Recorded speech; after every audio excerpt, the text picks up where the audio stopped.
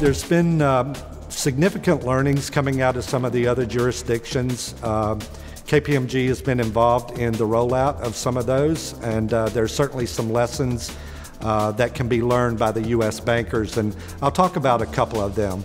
The first one is you need to get settlement right. When the UK launched their faster payment schema, they designed a settlement process that contemplated a loss share agreement with three daily settlement cycles.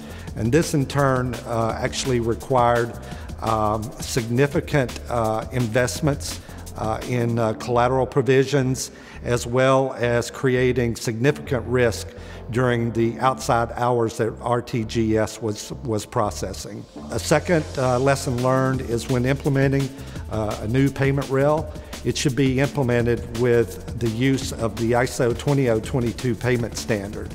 A little bit about that standard. ISO 20022 is a global standard that promotes interoperability and fosters cross-border payments. It also has the capability to carry much richer data that can be shared and passed between the payee and the payor and promotes much greater straight-through processing than other payment types. Once again, an example from the UK, when they launched their faster payments rails, they chose to use the message standard of the 8583. It less robust, but it enabled them to stand up the system in a much more quickly fashion.